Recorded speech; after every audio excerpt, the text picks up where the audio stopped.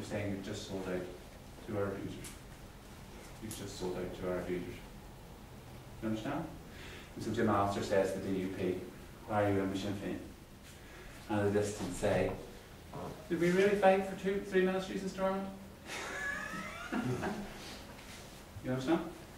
So the peace, even when it comes, until people see that this is the only, in my view, the only possible justice you can have is to stop circle. That's my no, You can't have justice in these terms. Justice looks like another world. We end this relationship.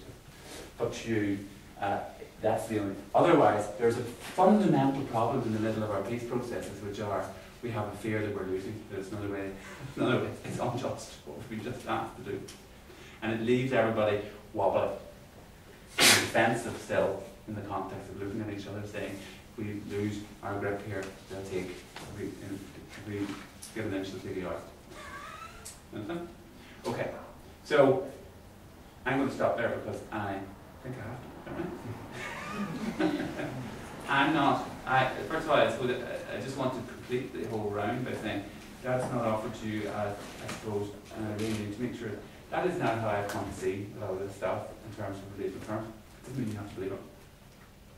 Uh, you have to, uh, but at some level or other, I suppose, what I want to say is, I think in some ways, where you get into this, uh, one of the questions is, how do we teach history in such a way that some of the relational questions that are underlying come, to, come alive for the people we're teaching to and in the context where we're, we're teaching?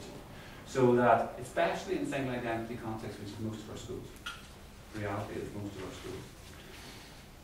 How does it become possible that both our story and the story of the other are present in how we teach? In how we teach, and in the context of our Okay.